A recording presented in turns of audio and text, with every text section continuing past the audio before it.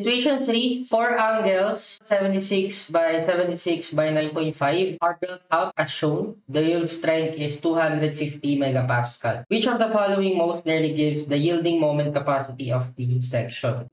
When you say yielding moment capacity, so it depends on the strength of the section such that the extreme fiber will reach the yield strength of 250 megapascal. So meaning using elastic analysis, the stress on the furthermost fiber from the neutral axis will reach the yield strength.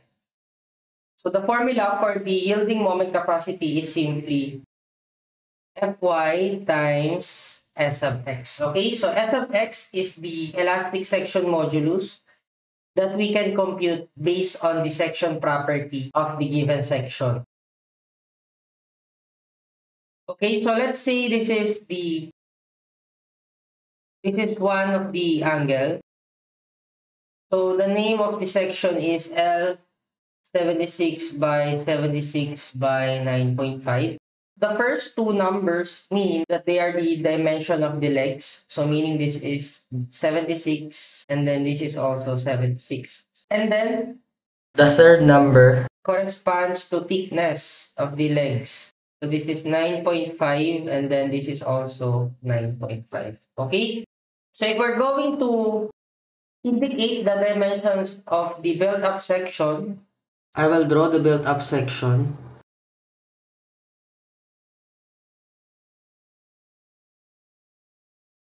So this is 76. And then this is also 76. This is also 76. So as you can see, we can compute the moment of inertia of this angle if we are going to consider this as a square with four holes. Okay? So this is simply a square with four holes. So since the dimensions are symmetrical with respect to x and y axis, so meaning the moment of inertia with respect to x and y axis are equal. So we need only to compute for one moment of inertia. So let's say we compute for the moment of inertia with respect to x.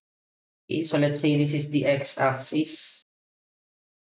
Moment of inertia is 1 over 12. We have two sides of 76 millimeters. So that is 2 times 76. So we have 152 mm. So B H cube.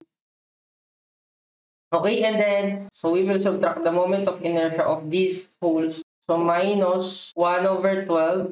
So the dimension of the hole will be 76 minus 9.5. That is 66.5. So we have 1 over 12, 66.5 h cubed. So take note, the centroid of this hole does not coincide with the x-axis of the built-up section. So therefore, we need to apply the transfer formula for moment of inertia. So we need to add plus area d squared. So the area of the square hole is 66.5 squared. The distance of the centroid towards the x-axis is simply equal to 66.5 over 2 plus the thickness. Okay? So that is 42.75. 42.75 squared. Okay? So this is now the moment of inertia of one hole. So since we have a total of four holes, so we will just simply multiply this by 4. Therefore, I sub x is equal to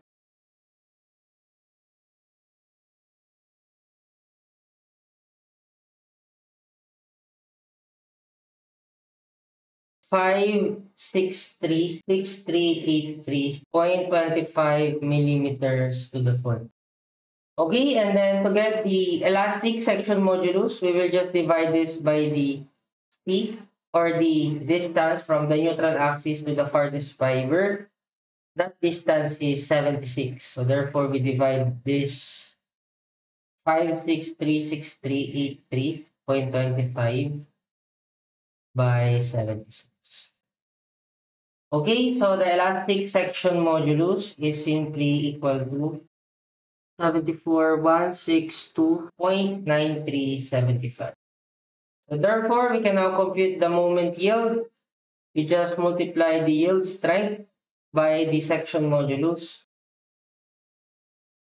And that is 18540734.38. This is in Newton mm.